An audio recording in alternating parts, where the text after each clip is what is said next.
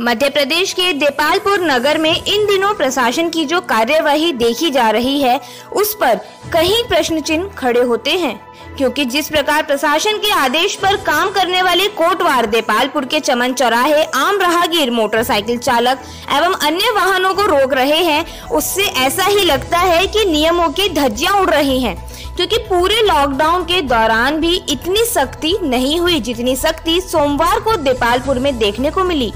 हालाँकि प्रशासन की कार्यवाही से लोगों को समझना नहीं है, लेकिन प्रशासन के आदेश पर काम करने वाले कोटवार जिस तरह अनुशासनहीनता से नियमों को ताक पर रखकर काम करते नज़र आए, यह नज़ारा प्रशासन की कार्य प्रणाली पर सवाल खड़े करता है। बड़ी संख्या में एकत्रित होकर कोटवारों द्वारा आम राहगीरों व मोटरसाइकिल चालकों को रोककर उनकी चाबियाँ निकाली गई तो कईयों के चालान काटे गए।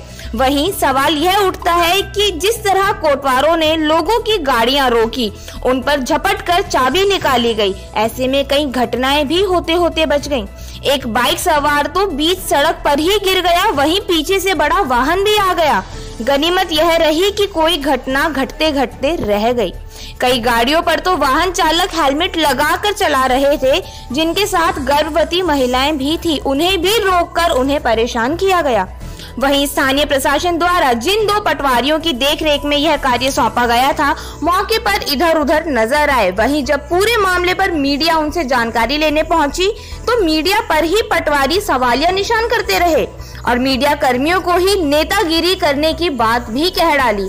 उनसे जब पूरे मामले पर जानकारी लेने के लिए बात की गई तो उनका कहना था कि आप लोग नेतागिरी कर रहे हैं। अब ऐसे में सवाल यह भी खड़ा होता है कि मीडिया अब किसी अधिकारी या कर्मचारी से कोई सवाल भी ना करे। अगर करते हैं तो उन्हें नेता करार दिया जाता है। वहीं पूरे मामले पर जब देपालपुर तहसीलदार बजरंग बहादुर सिंह से बात की गई तो उनका कहना था कि ऐसी तो कोई बात है ही नहीं। और मैं दिखाता हूँ, अगर ऐसा कुछ पाया जाता है तो जाँच अवश्य की जाएगी। Bureau report, Zee News India.